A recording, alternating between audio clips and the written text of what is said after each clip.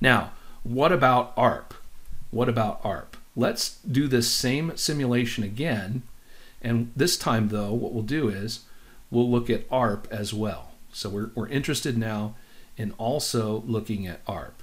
And what I'm going to do is I'll go back to real-time mode briefly, and we'll go to PCA, and we can look at PCA's ARP cache by putting in an ARP-A, and you'll see that PCA knows 192.168.11 PCB's MAC address, and it knows the default gateway's MAC address, and that's how it's able to communicate to those devices.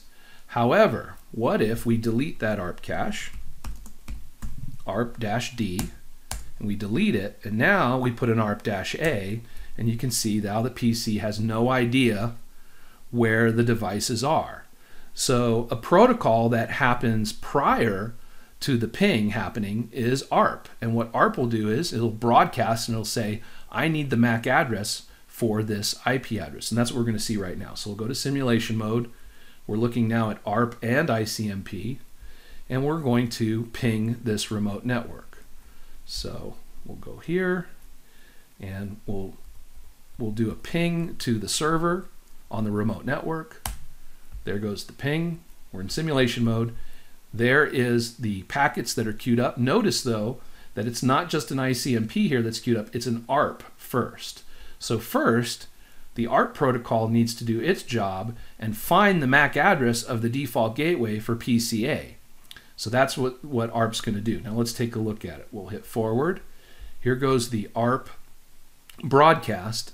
We'll open up this ARP broadcast frame, look at the inbound PDU details, and we can see here that at layer 2 in the Ethernet frame, the destination MAC address is a broadcast MAC address, all Fs.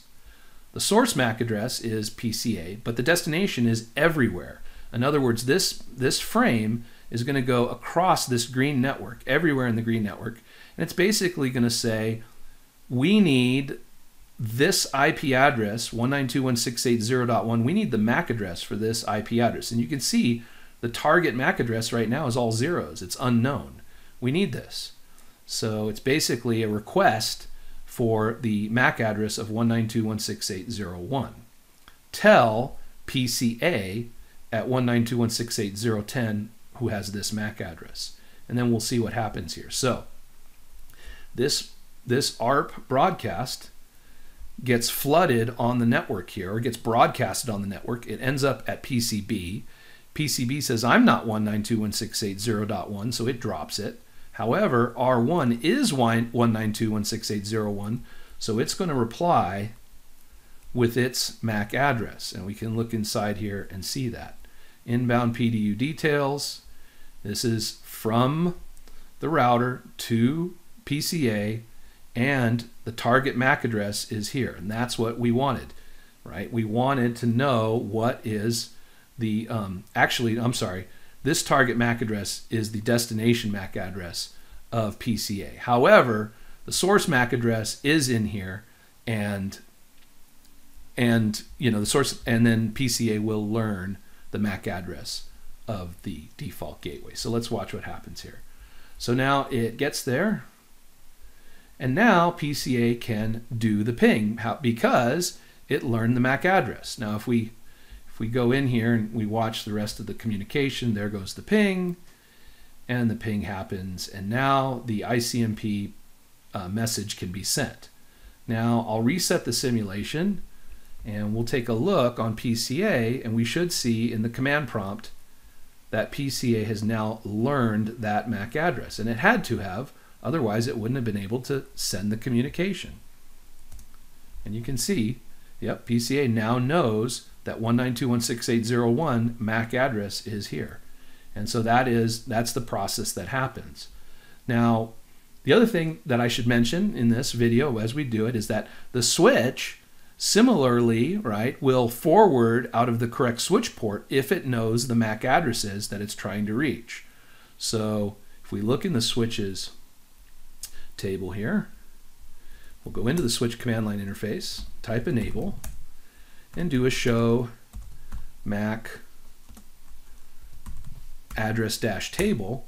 you can see that the switch has been learning and building its MAC address table and knows that on port 2 is this MAC address, on the gigabit interface is this MAC address, and on this uh, switch port is this MAC address. If we want to see which ones those are, I'll just go to Options, Preferences, and show the port labels. And then we can see it a little clearer. So gigabit interface goes to the router, port 1 goes to PCA, port 2 goes to PCB, and we should be able to see that. So let's let's open that up again. And there are the MAC addresses. So it learned about those MAC addresses. So it knows what to do. Now, if the switch doesn't know the MAC addresses, the switch will act like a hub and will flood will flood the frame to all switch ports except the one that it came in on. However, if the switch knows which um, MAC address maps to which port, then it will correctly forward to the correct port. And that's what it's doing right now because it knows these MAC addresses. So it won't behave like a hub, it'll behave like a switch and it'll forward it out of the correct port. Anyway, that's just a, a quick video on basically the host routing table and routing to local and remote networks, default gateway, and ARP. And also, if you wanted to verify those MAC addresses in those um, packets, in those frames, all you would need to do is open up the command prompt and run an ipconfig all to verify those MAC addresses. In other words, I can run an ipconfig slash all or dash all, uh, slash all in this case, and then we can verify that yes, um, the physical address of PCA is this MAC address, BA81, and there's the IP address. So as you're watching those frames or packets go across the network, you can always verify which MAC address it is that you're trying to communicate on. Now, does PCA ever learn the MAC address of the server over here? No, it does not. PCA will not learn the MAC address of this server. This is a separate network. The MAC addresses on the blue network stay in the blue network. PCA just needs to learn the MAC address of the default gateway.